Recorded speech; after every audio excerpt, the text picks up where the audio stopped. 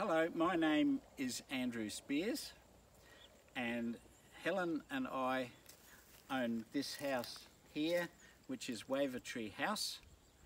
Wavertree House is in Darwin River in the Northern Territory and it is named after a ship that my grandfather sailed in um, but it's also named Wavertree because of the red ash trees that are in the bushland around which have two-tone leaves and when the when the wind blows they wave in the breeze like this um, so we have Wavertree House. So this house is designed for airflow.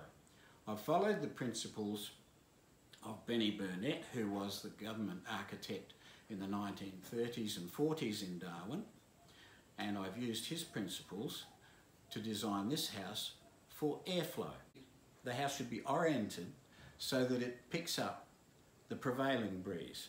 So instead of being along the north, south or east-west axis as, as we would normally build them, then uh, we in Darwin for instance, um, for this location we would turn it slightly off the compass point axis um, so that we can pick up the northwesterly breezes in the wet season and the southeasterly breezes in the dry season. The other thing that Beni Burnett did with his windows was he made them louvered.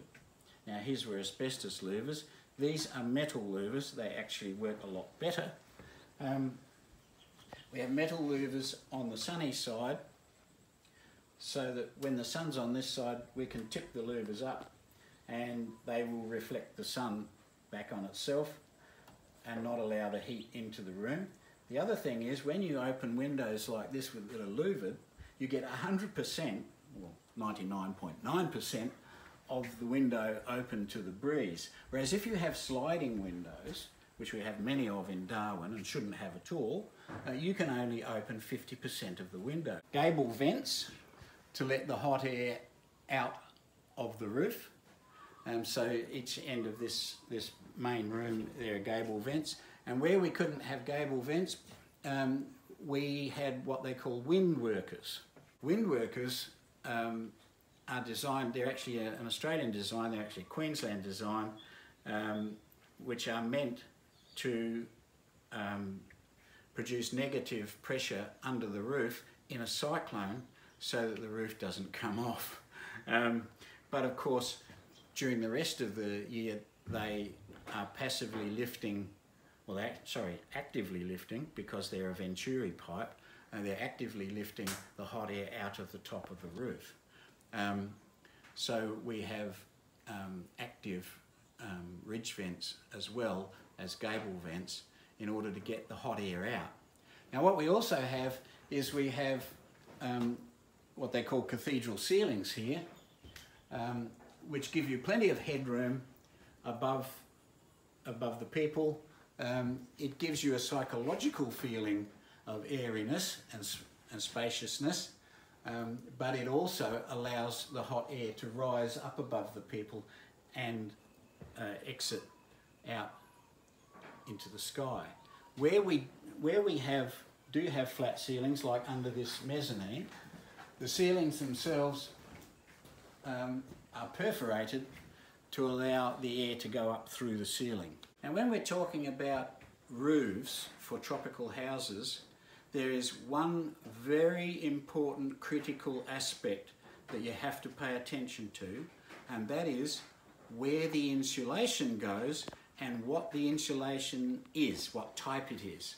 It has to be reflective insulation, preferably with an air gap built into it, like Air-Cell, to mention one of the many brands, but it must be reflective and it must, must be installed under the roof cladding with an air gap between it and the roof cladding. So it has to be under the battens or under the, the um, uh, rafters so that there's an air gap between the roof cladding and the insulation so that it reflects the heat the, the radiant heat from the roof back into that air gap and then the warmed air will flow up the roof and out the ridge vent and take it away, excuse me, before it gets into the room. Now in this roof here, the insulation is just under the, the ceiling cladding. So that in actual fact, because the, the ceiling is perforated at night, we have a starry sky um, because the reflective insulation shines little pinpricks of light through the through the ceiling, and it looks looks very pretty. Um, it's an unintended consequence of having your roof insulation in the right place.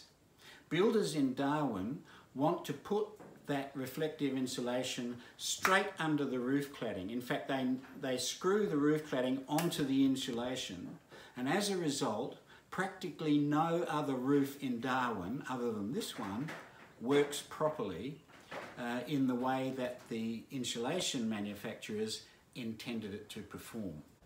One of the other features of Burnett houses is that where he had to put a wall across the prevailing breeze, he put louvers in them. So the one wall that we have that runs across the, the prevailing breeze in this house is louvered. It can be left open. The internal walls, except for the toilet wall, for obvious reasons, um, the, all the internal walls don't reach to the ceiling. So they're open to the roof cavity so that the airflow can go right through over the tops of the walls as well and the hot air can escape. Now, our sewage from this house goes into a biolytic sewage treatment uh, tank, which is just like a septic tank, only it's aerated and it's full of bugs that do the same thing to the, to the sewage um, as the soil would. Um, it has worms and it has rat-tailed maggots and things like that in there that, that eat up all the cellulose and then the water is pumped out of the tank uh, onto the fruit trees. Our house is off grid so we don't have town water to this block and so we rely on harvesting the rainwater um, from the roof. The whole house runs entirely on rainwater. We don't have a bore. The other off-grid aspect of this house is that it's not on the electricity grid. It is powered entirely from the sun with our solar panels.